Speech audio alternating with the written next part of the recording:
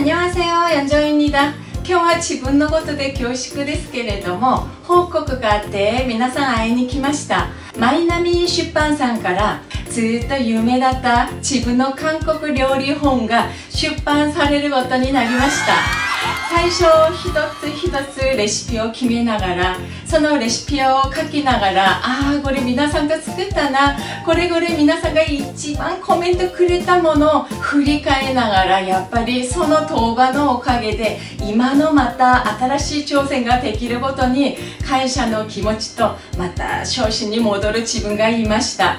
最近になって撮影になりました。4日間かけて80品の韓国料理を作りながらああここを皆さんと一緒にコツしたところをちゃんと撮ったり何より自分らしさあとありのままの韓国料理を表現することで心をかけたと思います。カメラマンとスタイリストあと出版社の担当者の方々あとデザイナーの方々といろんな話をしながらちょっとは大変なところもあったんですけれども本当に楽しく撮影を終えることができました。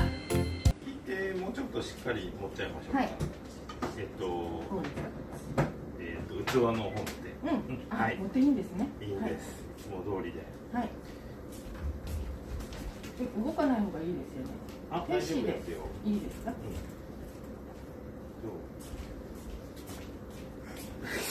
じゃあ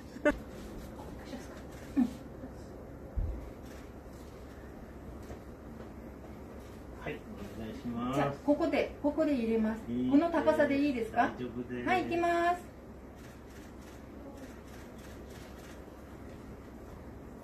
ぴったり素晴らしい。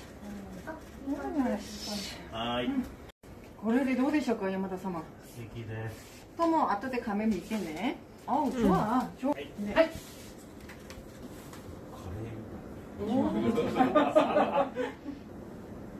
はい、どうでしょうか。 今の映像のように本当に和気あいあいとしながら皆さんと料理の話料理を通じてエピソードあと韓国の文化の話をしながら楽しく撮れました。発売の日は1月の終わりになりそうです。まだ先の話ですけれどもまた近づいたらこの場を借りて皆さんにご報告させてください。今日も最後まで聞いてくださってありがとうございます。次回はもっと熱々で美味しい韓国料理とくだらない4ンのトークで戻ってきますね。じゃあ、クロン、皆さん、あにょんよ。